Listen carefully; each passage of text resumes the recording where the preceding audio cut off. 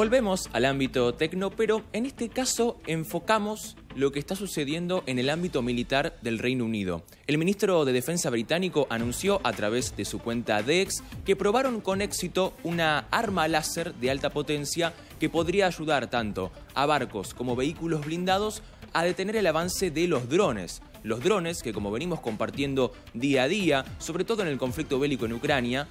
están tomando cada vez más protagonismo en los conflictos bélicos. Y de acuerdo con el Ministerio de Defensa británico, que a través de su cuenta de ex, que también lo compartió el ministro de Defensa británico,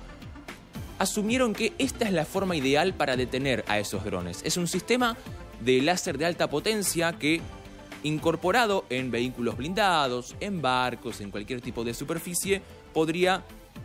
detener a varios enjambres de drones, no hablamos de uno en particular, sino que de varios grupos de drones, se lo llama Dragonfire, que ahí lo leemos justamente, este dispositivo. Mucho de lo que vemos son imágenes de concepto mientras se lo desarrollaba a esta nueva arma. Y lo que vamos a ver a continuación también, yo les voy a comentar cuando lo veamos, es la imagen que compartió el Ministerio de Defensa británico mostrando cómo por primera vez probaba este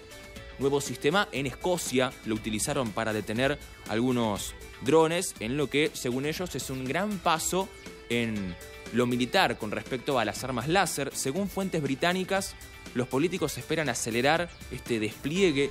de armas de estas características tras los ataques de los rebeldes hutíes contra barcos del Mar Rojo y teniendo en cuenta cómo los drones están tomando mucho protagonismo en los conflictos bélicos que se están librando actualmente en el planeta. Desarrollar esta arma costó 100 millones de euros, 100 millones de libras, bien digo, un equivalente a 126 millones de dólares en total. El Reino Unido ha invertido muchísimo dinero en el desarrollo de esta arma y podría usarse en 5 años. Esto que vemos ahora en imágenes es la que compartió el Ministerio de Defensa británico, la imagen que compartió el gobierno británico sobre esta nueva arma que, según ellos, es un rayo que viaja a la velocidad de la luz, siempre según la información del Reino Unido y que, como comentaba recién, podría utilizarse en cinco años ya que todavía está en desarrollo, en su fase final, pero todavía está en desarrollo.